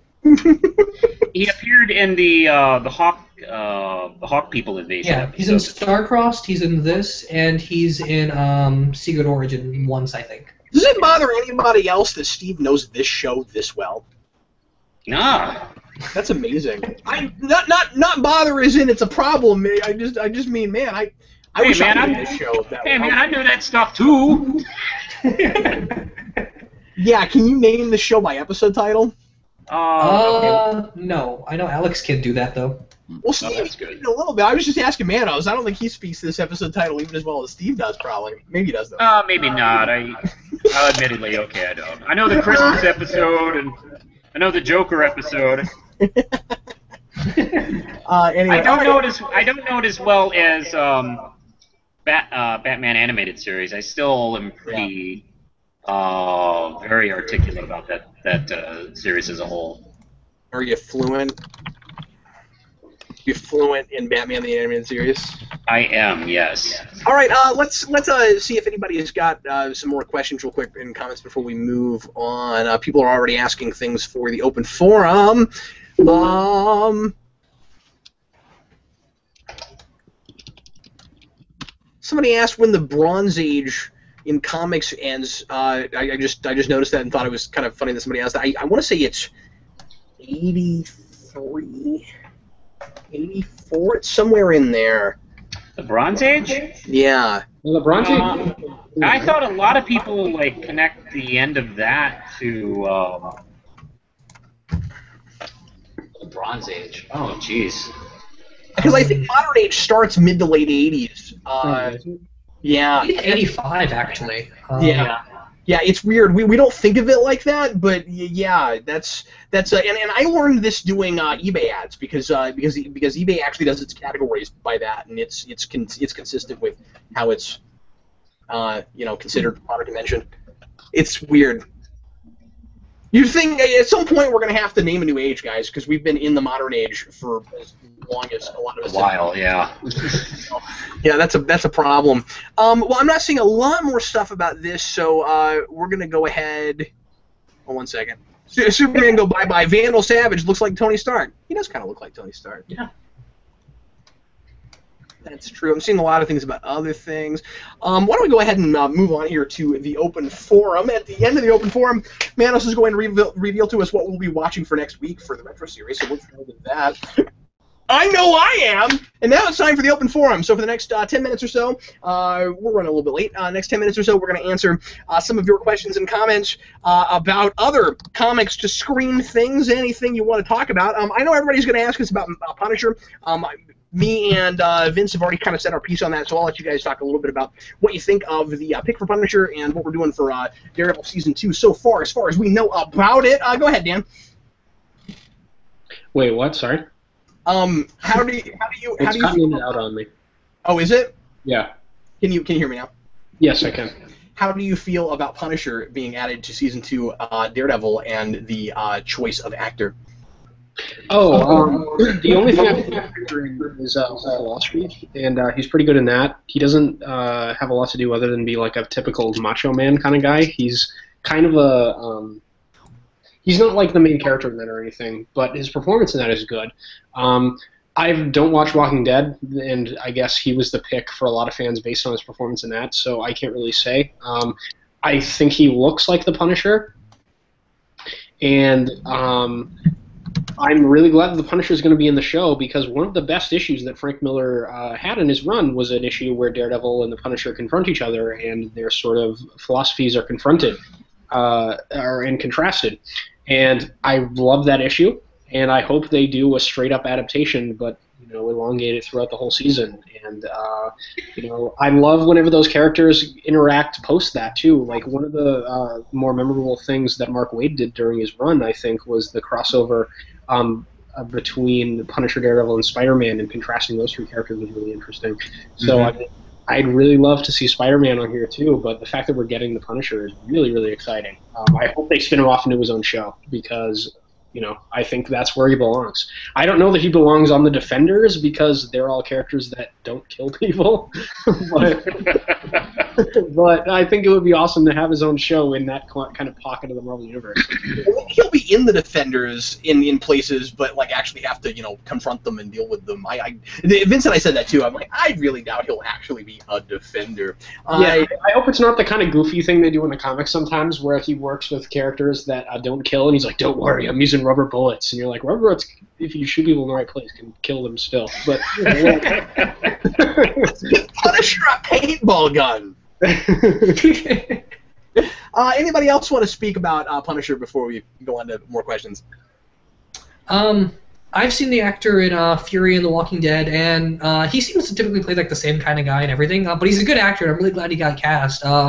I still would have picked like Jeffrey Donovan over him, but that's okay. I still think this guy is going to be uh, awesome as the Punisher. Uh, and like Dan said, I can't wait to see if they do like a competing philosophy between him and Daredevil, and uh, maybe even if uh, we get a thing where the Punisher is basically the main bad guy for the whole season. Um, like I think that would be endlessly. I think that would be endlessly interesting. Uh, we wouldn't necessarily need like another big supervillain plot like the Kingpin. I think you could get away with just doing 13 episodes of Daredevil versus Punisher. That would be wonderful if he could be uh, maybe not so much the lead villain because I know a lot of people don't think of him as a villain, but um, uh, he could at least be the lead antagonist. Yeah. Uh, where he has his agenda and uh, Daredevil has his agenda, um, and nine the twain shall meet. Like you know, you know maybe uh, maybe Matt Murdock is uh, defending somebody he thinks needs to be killed, um, and you know we could see that you know play out throughout the storyline. And then when they if they do that, then when they put out the box set, they can have the cover of it be the original cover of the Punisher, except put Daredevil where Spider-Man goes. um, Hannibal asks, uh, three-part Justice League uh, Gods and Monsters miniseries, and what did you think of it? Uh, we kicked around maybe reviewing that here on the show. Uh, I didn't want to add it to this week because I didn't realize that, that it was done already. Uh, is it really just three-part? Is that it's three parts, and uh, there's a second season that got greenlit that's going to be ten episodes, uh, but that's it doesn't have a release date yet. Oh, it's okay. I thought that whole thing was just a lead up to a movie, and that it kind of wasn't really important and didn't matter much. Uh, but if they're making more of it, then then uh, it's technically sort of a TV show. So uh, even though it's just on the internet, so I, I guess I guess some of us, if, if we want to, can tackle it. Um, I'll watch it if Steve wants to watch it. Uh, and I've already watched it, so. Oh, you've already watched it. All right. Well then, well then, um, I'll, I'll waste my time watching it. I'm kidding. We'll see if it's any good. Um, I'll, I'll, watch it too. We'll talk about it next week. It'll give us some extra stuff to talk about on the show. Um, and then uh, if you guys uh, want to do that, feel free, but uh, don't feel like you have to. We've at least got two of us that will have watched it. Um, I I have watched two of them. I watched the Batman and Wonder Woman ones, and uh, I thought they were okay. Well, watch the last one because it's five minutes, and then and then if you don't like it, you can just complain and complain, and it'll be totally fine. Uh, Okay, so uh, so anyway, that's our answer to that. Um, what else? Uh, hey, J- JID one twenty three. Uh, so so uh, this is a video game question because uh, Dan and I just did a video about E3, and now all of a sudden people think that I know something about video games and what can I is uh, incredibly flattering. Uh, by the way, um, I, I, I, I, should probably uh, announce to folks because people keep asking. People are so worried that I'm not going to be able to play uh, Batman Arkham Knight and are super worried that I'm not that that, uh, that, that they're not going to get a review of that. Um, I am getting a PlayStation 4 um, the uh, day Arkham Knight comes out. it's going to be in the mail on Tuesday. I just ordered one, and I will be playing that game, and I will be able to um, you know do that with the podcast. Dan's News and I talked today, and we're definitely doing that. Um, people have been asking me like crazy about that that. So that is happening, folks, uh, and I'm going to be able to play modern games again because I'm getting a PS4. Yay! Um, things that aren't Nintendo, and there's a lot of cool stuff coming out, so I'm kind of excited about it. His question, uh, GID123, is uh, what are your thoughts on Battlefront 3 not having a single-player story mode, space battles, galactic conquest, and 20 versus 20 multiplayer? Um, okay, so I don't know what that last thing means, but um, I, I, I didn't realize that there wasn't going to be a, a single-player story mode. Um, that's a bit of a bummer to me. I don't mind the space battle thing. Uh, Dan and I were talking about that. Um, but if it's mostly just a multiplayer thing, I'm not anything like as interested as I was before. There is a single player mode, and it's like missions based on uh, moments from the movie. There's not like a connected storyline because if there was a storyline in Battlefront, uh, specifically if we're doing just the battles from the movies, you could just watch the movies and that's the story. So it doesn't really make sense to do a storyline overarching, I don't think, unless you're focusing on, you know, one specific stormtrooper or rebel and I don't know how you would make that any sort of interesting either. So um, I think the way they're doing every one of those battles, we had one stormtrooper that was in every single battle you saw in Star Wars. Yeah, so they're they're doing a single player mode, and uh, there's no Galactic Conquest, which was a mode in two where you could sort of strategically conquer planets in the galaxy and stuff like that. I mean, I would like to see that. We don't know all the details of all of the single player modes yet. They just revealed the uh, single player mission modes. We didn't even know there was go- those were going to be in the game until E3. So I think there's stuff to come. Um, the, the space battle stuff, I didn't think the space battles were fun in two, so I'm not really, uh, you know, angry about that, and they're probably going to do a revival of Rogue Squadron, and the space combat will be much better because it's a game's focused specifically on that kind of combat. So I don't know. I think I'm just really happy that we're getting another good Star Wars game, and we're not just relegated to putting out Force Unleashed games every so often, which the story doesn't make sense and they're not really all that fun to me anyway. So I mean, I, I don't the know. first one a lot, Dan. I, I, I like the first one a lot.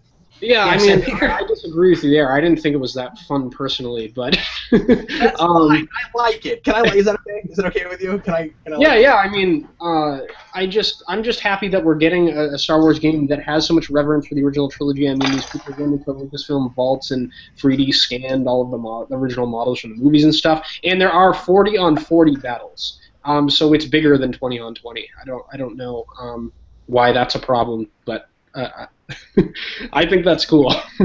As long as I can play by myself, that's totally cool. I Yeah. just, I'm not a big multi, uh, multiplayer guy. Uh, people think I'm weird for that. I'm an old person apparently when it comes to video games. Uh, I, I mean, I, I didn't grow up with that. It's not my. I, I do it with some things. I do it with Mario Kart and stuff. I don't play multiplayer enough to have to pay every month to play multiplayer, so I'm just not going to. But so as long as I can play by myself, um, and if they have local uh, uh, uh, multiplayer, then that that would be awesome. yeah, there's local multiplayer for that. Oh, good, good, good. But the missions that I was talking about, the single player ones, those are co-op as well. They announced, so you'll be able to play through the story missions uh, with two people. Then that sounds wonderful, and I don't care that it's not linked. That's yeah, that's great. Cool. Thank you, Dan. Thank you for the information. No problem. I want, I want to want to want that game. That makes sense. What I just, I'm really excited about it. but I do. I want to want that game. Anyway, um, okay, let's see what else.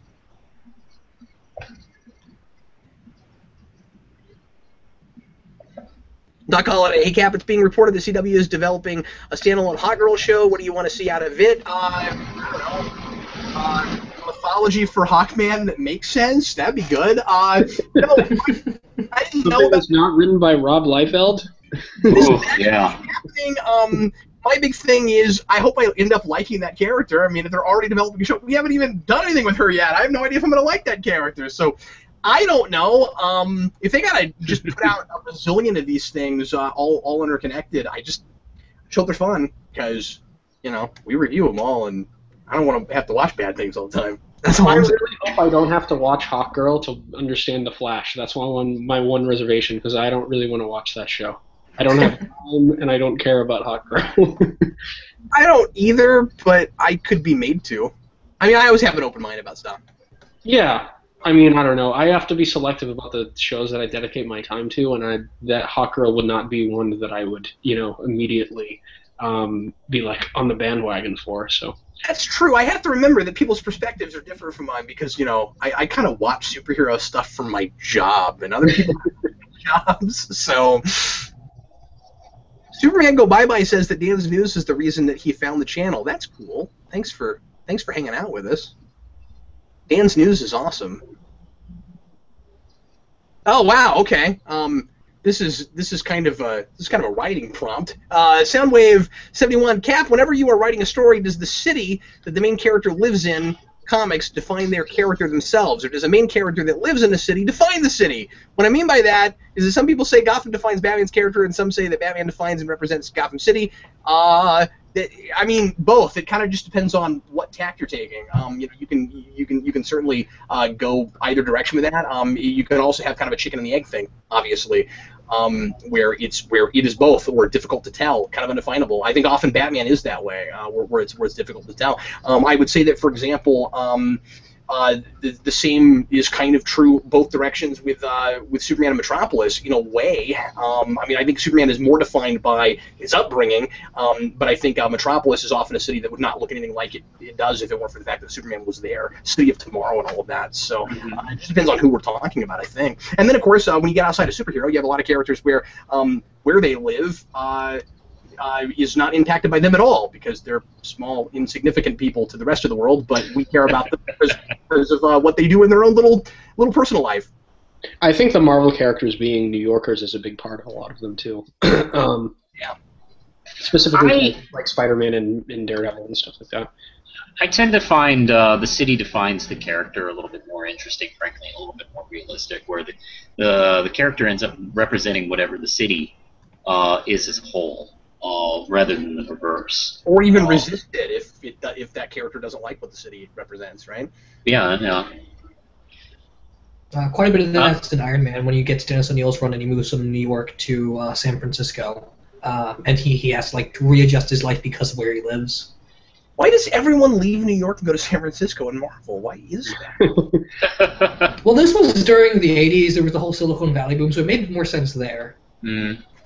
That's the one other city Stan Lee had visited on the West Coast, and he's like, "Hey, let's put him there." Uh, William Parcell, a lot of uh, X Men fans think that Marvel is downgrading them in the comics. X Men merchandise is being canceled, no animated series, uh, Twins' relation to Magneto, and the Inhumans being brought in to replace them. Do you believe it? Yeah, to a degree, certainly do. Um, I think there is a degree of that happening. Um, I'm verdict is out as far as the comics go until we get past Secret Wars. Um, I'm I'm a little bit nervous about how much X Men we're going to have and what exactly it's going to be. Uh, the whole Uncanny Inhumans thing as a title being the first thing that was advertised in the first issue of Secret Wars kind of kind of freaked me out. Not freaked me out, but I, I was I was a little bugged by it. I just feel like that is potentially representative of what they're uh, of, of, of how they're trying to sell Inhumans. And obviously, there's a lot of trying to make the comics look more like the movies right now. And clearly, the Inhumans are are there. We don't have X Men in the movies. Um, verdict is out. We'll see how it goes. I don't like that they're canceling merchandise. That kind of that, that, that's telling to me.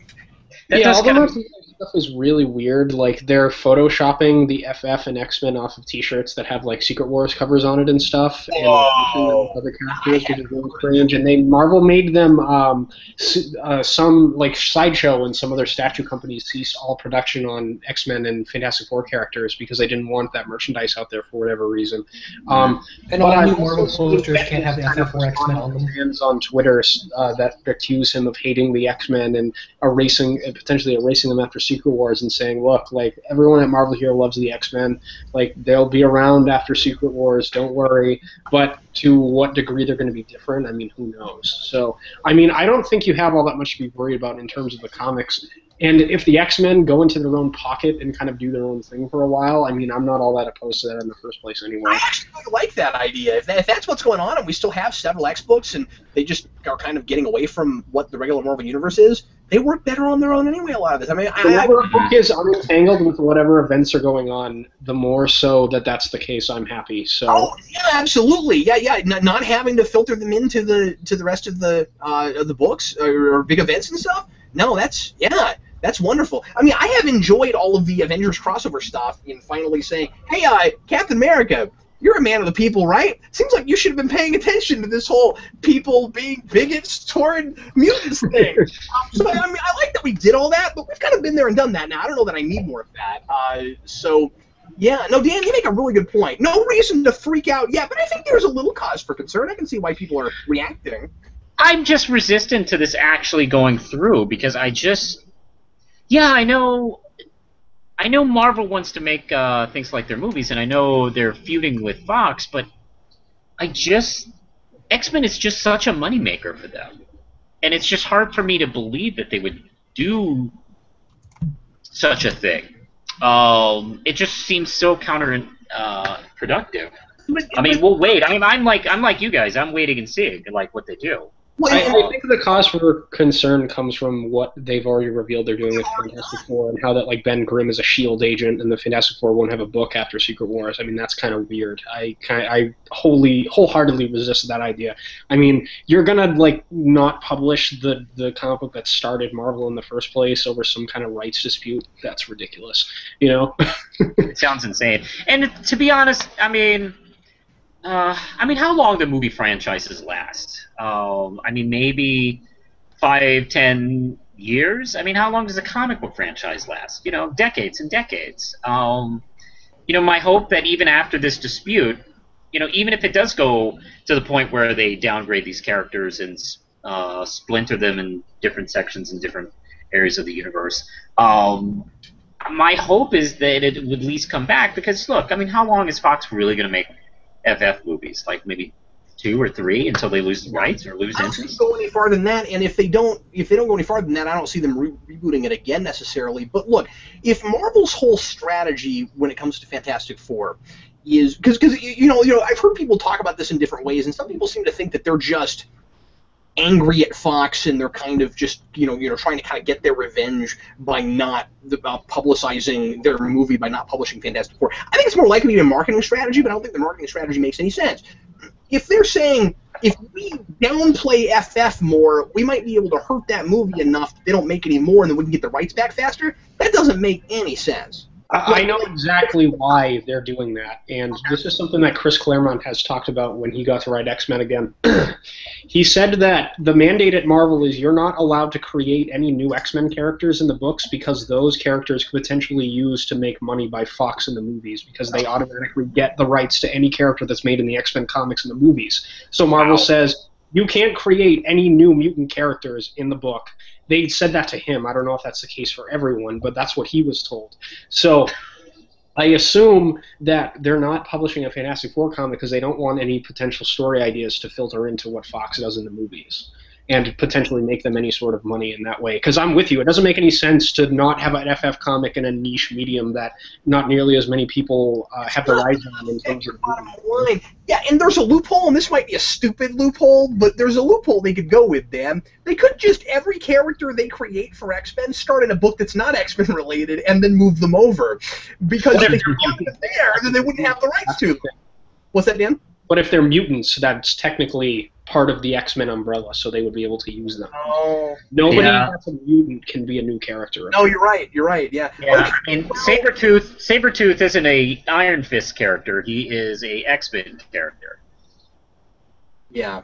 Okay. Well, um, see, I'm not a genius or anything. It was just an- uh, let's let's answer one more question real quick. Uh, let's see what folks are saying. Um, thank you guys for being with me tonight. I appreciate it. No problem. No problem. I love it.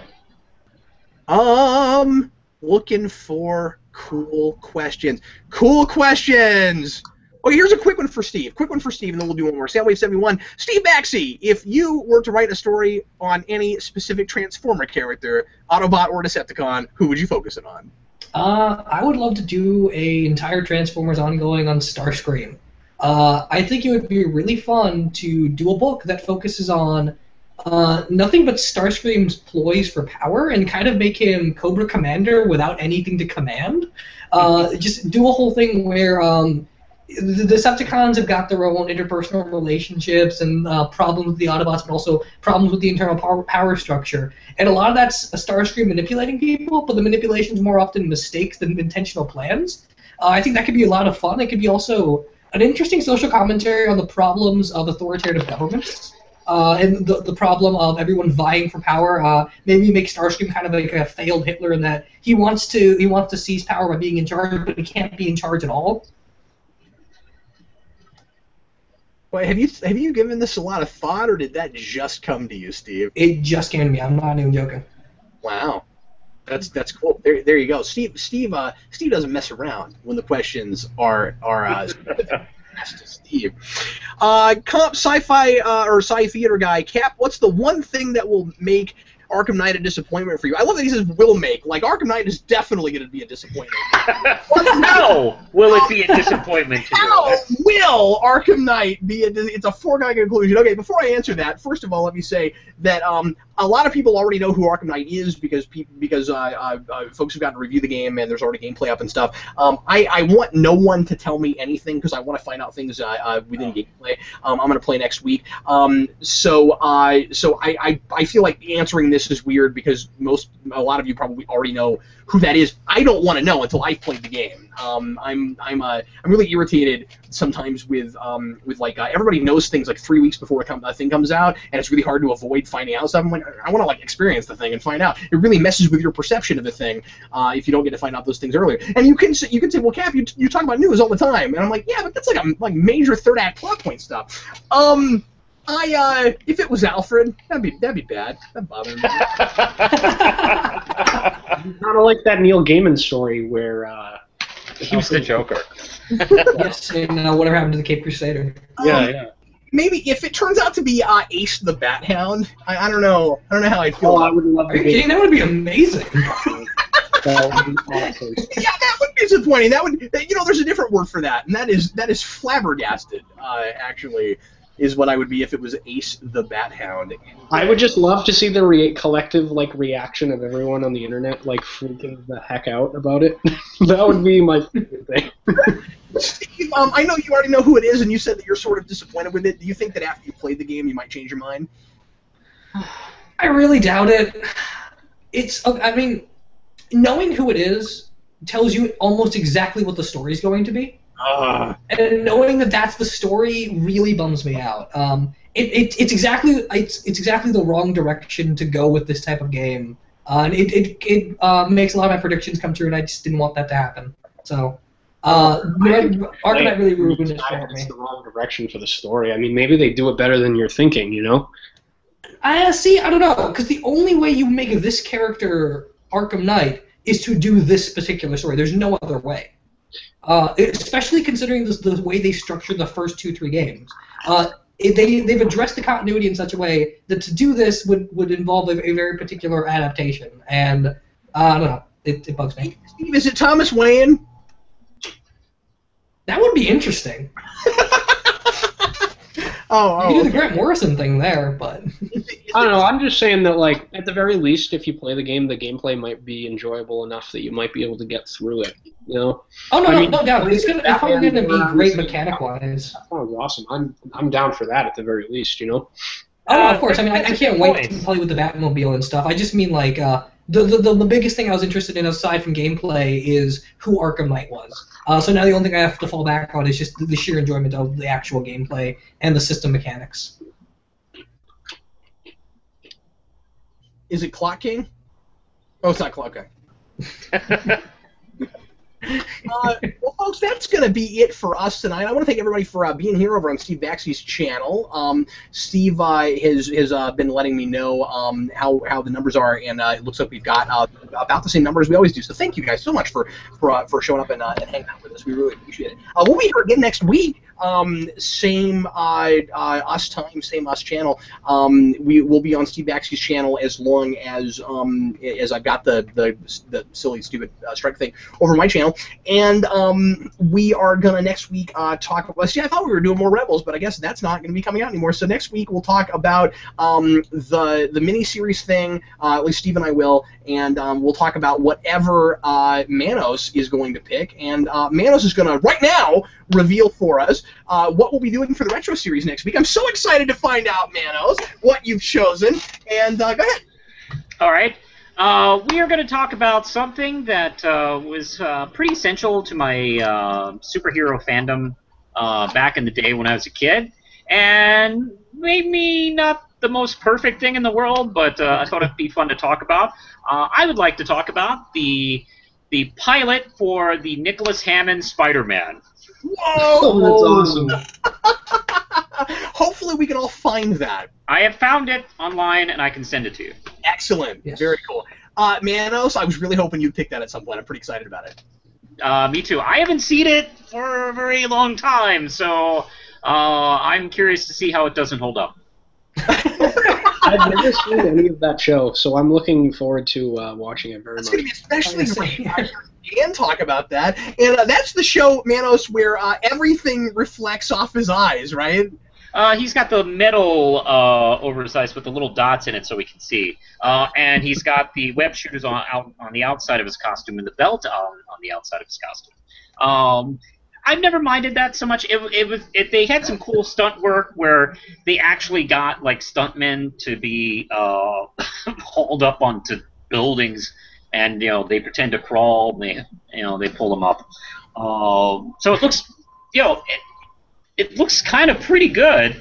Um, he doesn't really web shoot. He doesn't really make too many jokes. He doesn't have any villains. Um, Yes, no villains. so outside of that, Other than that, it's great.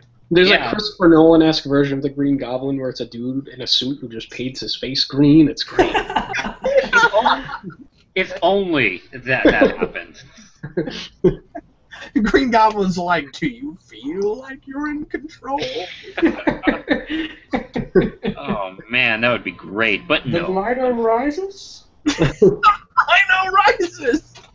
Oh, this is CBS in '78. They probably would have got Jamie Farr for that. So it's probably not. A good, probably wouldn't have been a good idea. The good thing about Jamie Farr is you can just paint his face green. I mean, he looks like a goblin. sort of like Willem Dafoe. Yeah. Uh, I, Manos, I always thought Jamie Farr would have made a great Ferengi. Are you sure he didn't? You should check IMDb. Yeah, I should. Maybe he was. Well, anyway, uh, everybody, thanks for watching. We sure appreciate it. We'll see you again next week. I'm Captain Logan, and this was Steve Baxi, See everyone. the real Manos. Yo, and Dan Torrey. Thanks for watching, guys. Dan Torrey. Dan Torrey. Bye.